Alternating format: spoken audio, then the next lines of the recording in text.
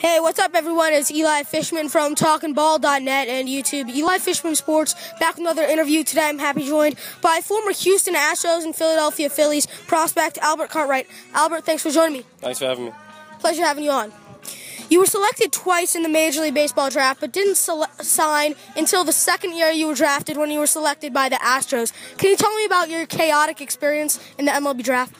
Oh well, well, first year I was out of high school, so it was all it was all new to me and all fresh. Um, and they wanted to send me to uh, Dominican Summer League, but I don't speak any Spanish, so I was kind of scared to go down to Dominican. So I decided to go to college for one more year, and I was fortunate enough to be drafted again.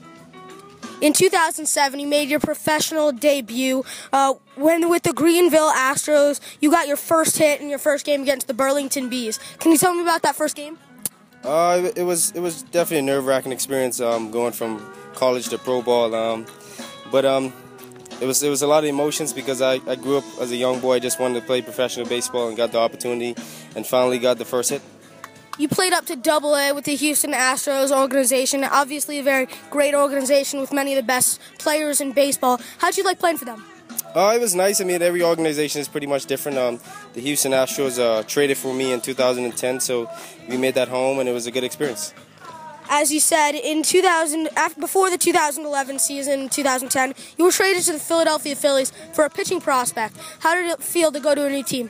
Uh, it was definitely it was definitely different because I was at home. Um, I actually my agent called me and he told me I've been traded and, and it was a lot of mixed emotions because I, I was a Houston Astros and I didn't had no idea I would have been traded. Um, I was traded for a guy who pitched in the big leagues for two years before uh, getting sent back down, but um, it was definitely a nerve-wracking experience. Um, and it was it was nice because uh, someone actually traded for you. I mean they really like you.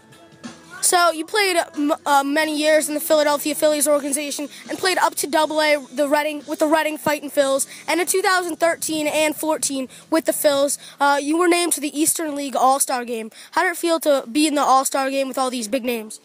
It, it was nice, man. Just being in the All Star Game, being selected uh, two years in a row in Double A. Um, but being with being with the guys that are playing in the major leagues right now, and it, was definitely a great experience just to be uh, one of the few selected that year in the All Star game.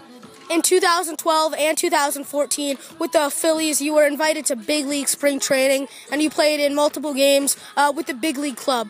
What, was it like up uh, in Clearwater, Florida, with the big league team? Oh, it was it was definitely different. I mean, you got guys who you watch on TV for years, and, and basically you're going out on the field with them, uh, just just doing our, our pretty much fundamental routine every day. Um, it was definitely a good experience to learn from some of the guys there, and I mean, I, I, I took it for granted at the time, but uh, now looking back, it's, it's definitely a great experience. Right now, you're with the Ottawa Champions in your second year in the Canadian American Baseball League, independent. How do you like indie ball so far with the champs?